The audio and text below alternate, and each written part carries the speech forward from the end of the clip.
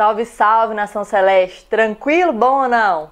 Bom, já tem um tempo que eu e as cabulosas não tá indo ao ar, né? E eu tô morrendo de saudade de vocês de falar umas verdades também do Cruzeiro, né? Vocês sabem que aqui o sangue ferve. Mas eu tô, não tô do lado hoje com carinho, com meu querido vovô, nem com a outra cabulosa, mas eu queria dar dois recadinhos para vocês. O primeiro é pra gente continuar mantendo firmes, tá? É muito difícil pra gente que é cruzeirense de verdade ver o Cruzeiro nessa situação. É péssimo, né? É, a gente sofre mesmo. Para quem não é torcedor modinho aí, é muito complicado, ainda mais sabendo por que, que o Cruzeiro chegou nisso, né, gente? Já tem um tempo quem acompanha o programa aí e a gente bate naquela mesma tecla dos responsáveis por isso. Então, eu espero sinceramente que eles sejam punidos e enquanto a gente tiver força, a gente tem que lutar para que isso aconteça também. Mas vamos nos manter firmes porque a gente vai sair dessa. Cabuloso é cabuloso, tradição é tradição. Então, não é do dia para noite que vai acabar com o Cruzeiro não, tá? Vamos firmes. O segundo recado é porque eu tô afastada realmente, porque eu tô em outro projeto. Para algumas pessoas que me acompanham na rede social já sabem do que se trata.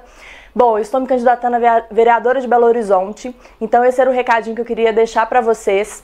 Se vocês me derem a oportunidade de conhecer um pouquinho do meu trabalho, é, bom, corrupção, política, gente, a gente precisa falar sobre isso, né? O Cruzeiro hoje está nessa situação porque teve um viés político e de corrupção muito grande dentro dele. A gente sabe do que se trata.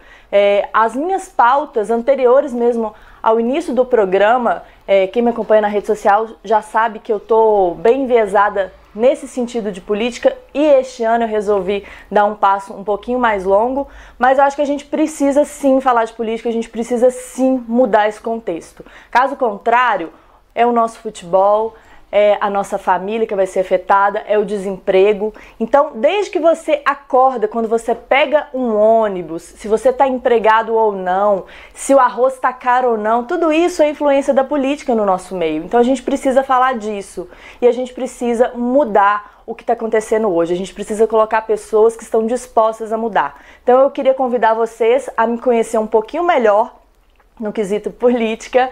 É, o meu número é 28001 para vereadora de Belo Horizonte. O meu Instagram, Gleine Carvalho, vocês podem conhecer um pouquinho mais da proposta. E eu vou deixar o telefone aqui abaixo. Caso vocês tenham interesse de conhecer um pouquinho mais do meu trabalho, pode me chamar que eu mesmo vou responder. Fiquem à vontade e vão batalhar para a gente conseguir uma Belo Horizonte melhor e um Brasil também, né, gente, que a gente precisa. Um abraço e um beijo enorme para vocês. Estou com saudade. Daqui a pouquinho a gente está de volta. Fica com Deus.